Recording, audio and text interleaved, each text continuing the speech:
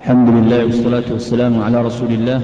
وبعد فضيلة الشيخ معلم يعلم الناس ففي مبحث الصفات في العقيدة تراه يشير لتقريب الفهم.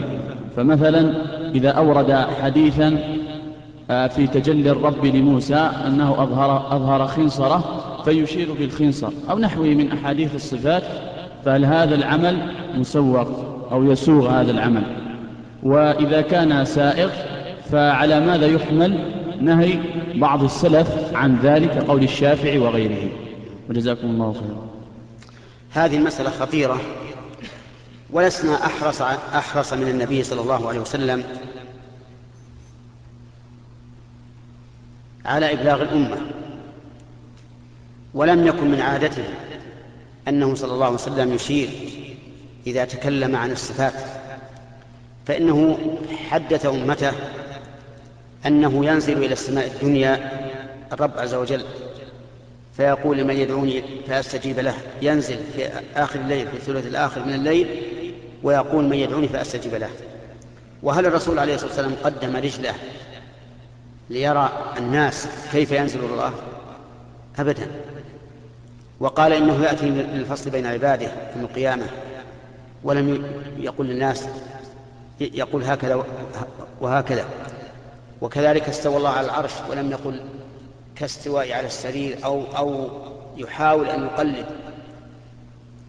ولا شك أن الذي يحدث العامة ثم يشير بيده إلى معنى الصفة لا شك أنه سوف يجعل في قلوب العامة التمثيل أي سينتقلون من المعنى إلى التمثيل لأن العام لا يفهم ولا يفرق. فنقول لمن أراد أن يبين أو أن يبلغ عن الله ورسوله ما أخبر الله به عن نفسه من الأسماء والصفات نقول يكفيك هدي النبي صلى الله عليه وآله وسلم. ثم إنه قد يورد علينا أن الرسول صلى الله عليه وسلم لما تكلم على قوله تعالى إن الله كان سميعا بصيرا جعل أصبعه على عينه والثاني على أذنه. فنقول إن الرسول عليه الصلاة والسلام أراد بيان تحقيق هذه الصفة ثم إنه يحدث قوما عندهم فهم وعندهم وعي.